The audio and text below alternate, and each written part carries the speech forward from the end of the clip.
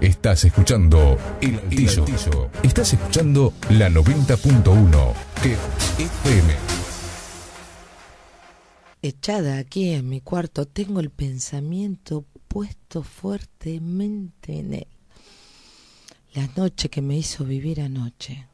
¿Cómo explicarlo? Yo estaba dormida entre mis sábanas y de pronto él se acercó. Yo no sé cómo entró. No lo escuché. Se acercó despacito. Lo sentí cerca de mi oído. ¿Cómo decirlo? ¿Qué palabras poner? Mi cuerpo fue presa de su boca voraz. Hasta mis partes más íntimas estuvieron a su disposición. Las sábanas fueron testigos de todo lo que sucedió y mi cuerpo, y en mi cuerpo las marcas que él me dejó aún perduran.